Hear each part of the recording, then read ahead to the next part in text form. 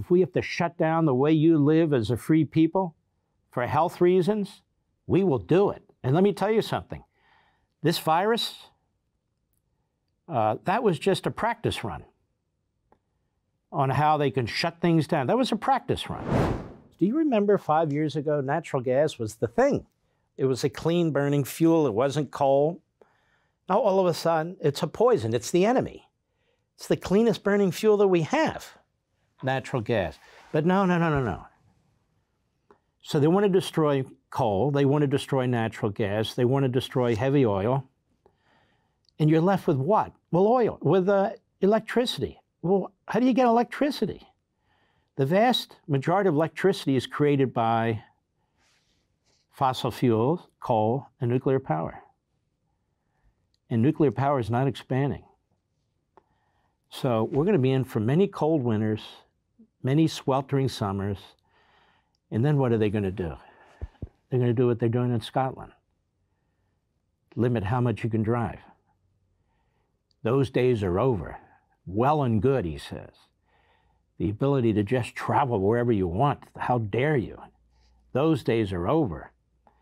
It's just like the pandemic with the virus. It's your health, the health of the nation. If we need to destroy your business, destroy your job, shut down your livelihood, shut down your churches and your synagogues and your mosques, if we have to do those things for the health of the general society, we will do it. And if we have to shut down the way you live as a free people for health reasons, we will do it. And let me tell you something this virus, uh, that was just a practice run on how they can shut things down. That was a practice run. So I wanted to point that out. All right, let's take a listen to this uh, involving the climate change. Go ahead. Federal agencies considering taking action to address the health problems linked to gas stoves. And one option could be a nationwide ban. Well, there is one. Like if you put your face in a, in a gas stove, you might burn it. If you sit there all day long and inhale the gas coming from the gas stove, you might get dizzy. Uh, so I don't recommend you do that. But then on the other hand, if you stick your head in the toilet where we have H2O and never remove it, that might be a health hazard too. All right, go ahead.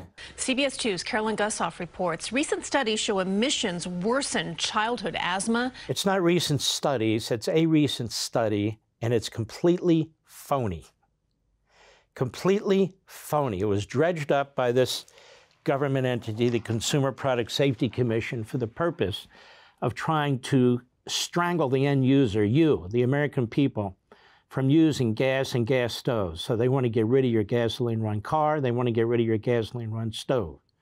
They want to get rid of gasoline, period. And this survey, or this study, so called, is a joke. But anyway, go ahead. And other diseases. College student Essen Sardui struggles with asthma. My throat's closing up. I can't breathe. But never connected her asthma attacks to her kitchen. But several studies now identify gas stoves as a hidden hazard, linked to more than 12% of childhood asthma cases and other respiratory cardiovascular. Linked to 12.7%. How do they know? They don't know. They don't have the foggiest idea. Go ahead. There's just chemicals that come out from the gas and a lot of the nitrogen dioxide, particularly if there's not good ventilation, then they can build up in the household. As a result, the Consumer Product Safety Commission is mulling action on gas stoves used in more than one third of U.S. homes. You are burning fuel in your home, in your kitchen, which is usually the center of your See, family. It's all these nonprofit groups and so forth and so on. They are ideologically extreme. American Lung Association, you would have thought, well, that's, that's a good organization, but listen to them. Go ahead. Other gas appliances are directly vented to the outsides, causing not only indoor air pollution, but also greenhouse gases, even when stoves are off. But the Association of Home Appliance Manufacturers says the solution is better ventilation. Plumbing, heating, and cooling contractors say talk of a ban is premature. Why attack an entire industry? If a doctor's recommendation says it affects somebody's asthma, nobody's going to argue that. But there's millions of gas stoves. Some would miss the ease of cooking with gas, but I'm for anything that will make my health better. Meantime, the Lung Association recommends use the hood that vents to the outside while cooking or open a window. Wait a minute, open a window? It's that simple?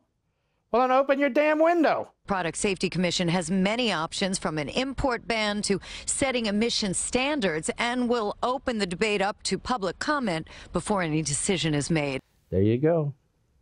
You think this is uh, this is over? It's not. They're going to ban the stove, or they're going to regulate it so heavily it becomes so expensive you won't want to use it. You won't be able to use it. What in the world did we do before the Consumer Product Safety Commission? How did we live? And not only that, did you know the gas stove is racist?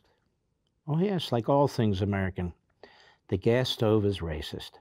Go ahead. I want to talk to you about something um, that sort of lit up, so to speak, um, some social media this week. The issue of gas stoves. We saw Republicans jumping over this issue. The U.S. Consumer Product Safety Commission did call them a hidden hazard. So we saw people kind of using this as a political football. In fact, two congressmen actually introduced a bill prohibiting bans on gas stoves. But you have spoken about legitimate health concerns you have. Talk to us about that. Well, in the 11th congressional district, which is uh, one of the poorest big cities in the country, Cleveland, Ohio, we have uh, communities that are disproportionately impacted by health disparities, and asthma is one of them.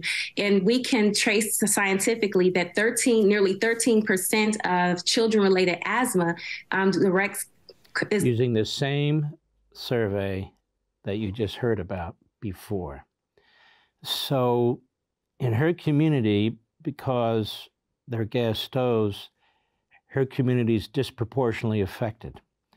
You know, ladies and gentlemen, this is called technology and progress. If there weren't gas stoves in her community, she'd be complaining about that, right? So to racialize these things is just another layer of stupidity. Go ahead to gas stoves. So this is an issue that is of great importance to me. Now we're not going to the extreme of banning gas stoves, but what we want to do is yes, educate, and what we also want to do is make sure that we are informing people so that they can make the adjustments and the modifications, making sure that their windows are open, their homes are properly ventilated, um, bringing this uh, to their attention so we can deal with the disparities that have come as a result of gas stoves in marginalized communities. But you're not calling for a ban, Congresswoman. I'm not calling for a ban. I am a, a proud user of the gas stove, but okay, I, wait, wait, wait, wait, wait. See, this is the thing. You ask any chef, they're going to tell you they prefer a gas stove.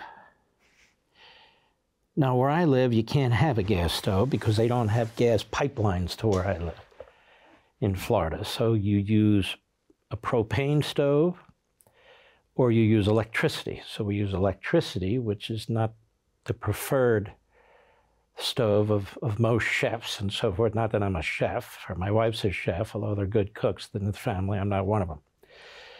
But see how she smiles and she said, I have a gas stove, and she'd never give it up. So the reason why they can't ban them yet, but they'll get there, is because too many of you own them, including people in her marginalized community.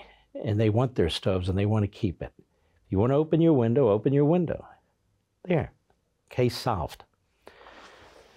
But today it's stoves, yesterday it was cars, then it's going to be dryers and washing machines, and next will be uh, clothes washing machines, and after that it's going to be uh, tile floors. It's going to be something because they can't stop. For all this and much more, sign up for Levin TV.